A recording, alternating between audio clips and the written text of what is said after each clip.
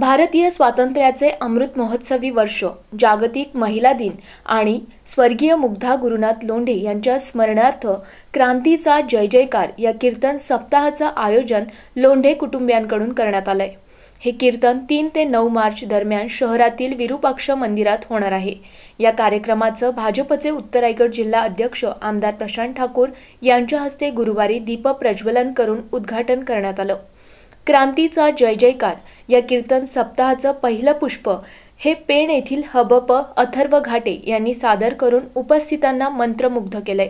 यावेळी भाजपचे जिल्हा सरचिटणीस श्रीनंद पटवर्धन गुरुनाथ लोंढे पनवेल महापालिकेच्या नगरसेविका रुचिता लोंढे युवा मोर्चा जिल्हा चिटणीस चिन्मय समेळ नंदकुमार कर्वे आदित्य उपाध्ये यांच्यासह मान्यवर उपस्थित होते. यावेळी सर्व उपस्थितांचे लोंढे कुटुंबियांनी आभार मानलेत. सगळ्यात आधी या अतिशय स्तुत्य अशा उपक्रमाबद्दल या आयोजनाच्या साठी ज्यांनी पुढाकार घेतला म्हणजे परिवाराचं आणि सर्व आमच्या सहकाऱ्यांचं मनापासून आभार व्यक्त करतो. आज आपण तीन मार्च रोजी या क्रांती सप्ताहाची आपण क्रांतीचा जय जयकार या. कीर्तन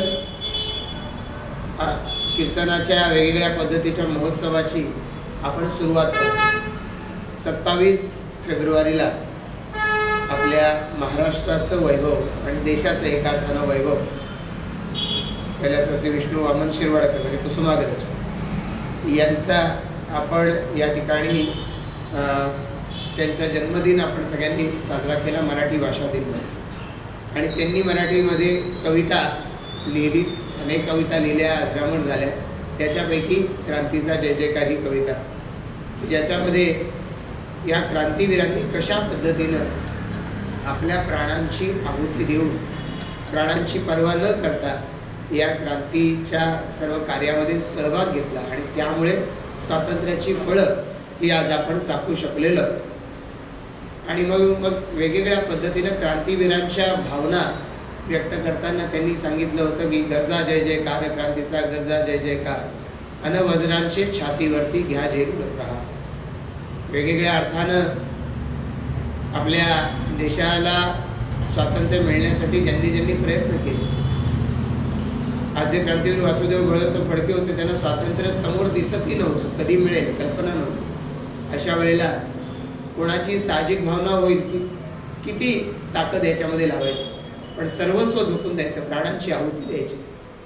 अशा पद्धतीनं ज्या अनेक क्रांतिकारक त्यांच्यासोबत या क्रांतीच्या यज्ञामध्ये स्वतःच्या प्राणांची ज्यांनी आहुती दिली अशांची गाथा ही या ठिकाणी गायली जायची वेगवेगळ्या पद्धतीनं या सगळ्या क्रांतिकारकांना आपण अभिवादन करणारच आहोत. पण त्यांच्यावरून त्यांच्या या लढ्यामध्ये त्यांच्यासोबत जे राहिले त्या सगळ्यांच्या सुद्धा या निमित्तानं आपण आठव करणार आहोत. आणि म्हणून या महोत्सवाचं वैशिष्ट्य आहे की त्या सगळ्यांचं स्मरण आपण करण्याची आवश्यकता आहे. कुसुमाग्रजांनी त्या या कवितेमध्ये एका ठिकाणी म्हटले कशाच आई विजविसी डोळे उजळ तुझे भाल रात्रीच्या गर्भात उद्याचा असे होऊ शकतात. सरणावरती आज आमची पेट त्याच प्रेते उठतील त्या ज्वालामधूनही भाविक भावी क्रांतीचे नेते. या स्वातंत्र्याच्या अमृत महोत्सवाच्या गायनातून काय करायचं आम्हाला? तर याच्यातून आम्हाला पुढच्या कालावधीमध्ये स्वातंत्र्याचा असा लढा लढण्याची आमच्यावरती वेळच येऊ नये. इतकं आम्हाला जागरूक राहायचं आहे आणि म्हणून या दृष्टिकोनातून आमच्या स्वातंत्र्य लढ्याचा जो इतिहास जो जागृत असा इतिहास आहे की त्या इतिहासाच्या माध्यमातून आमच्या पुढच्या पिढ्यांना आम्ही स्वातंत्र्याचा तो इतिहास सांगतोय की पुन्हा या वेड्या आमच्या पायात कुठल्याही पद्धतीनं येता कामा नये.